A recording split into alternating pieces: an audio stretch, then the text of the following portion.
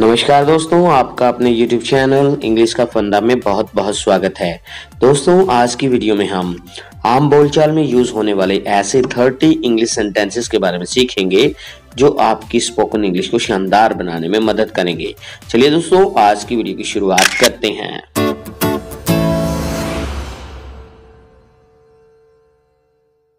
आज का पहला सेंटेंस है प्यारे दोस्तों, मेरी शादी होने वाली है। इस इंग्लिश में कहेंगे I am going to marry I am going to marry या फिर इसे ये भी कह सकते हैं I am getting married I am getting married या फिर ये भी कह सकते हैं I am going to get married I am going to get married अगला सेंटेंस है प्यारे दोस्तों, उसकी पत्नी बड़ी झगड़ालू है।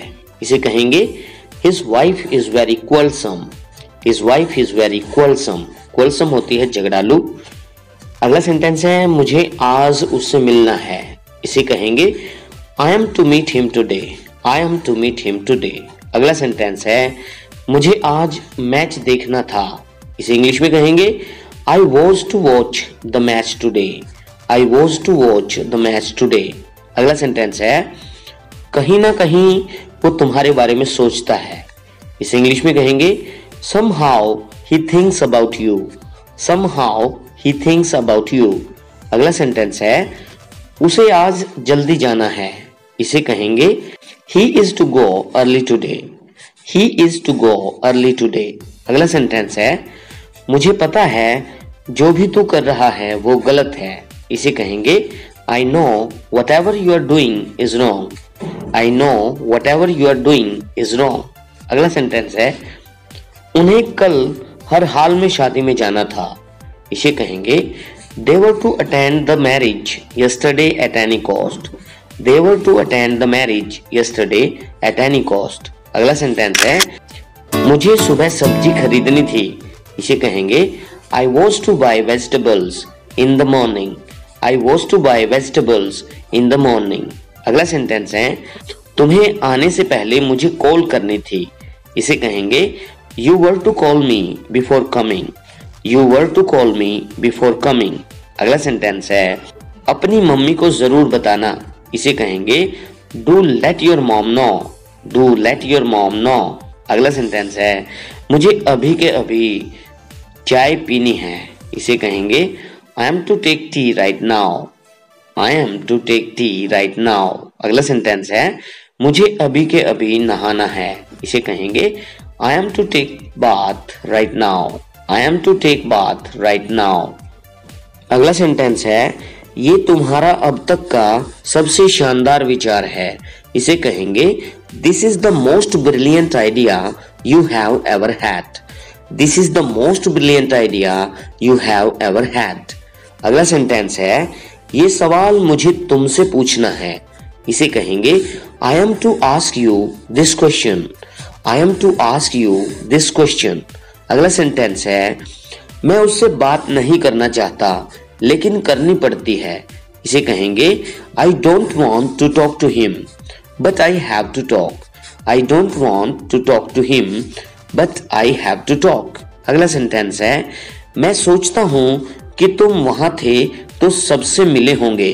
इसे कहेंगे I think as you are there you must have met everyone I think as you are there you must have met everyone अगला सेंटेंस है, तुम्हें आज ही ये काम पूरा करना है। इसे कहेंगे you are to complete this task today itself you are to complete this task today itself अगला सेंटेंस है, मुझे उसको पैसे उधार देने पड़े।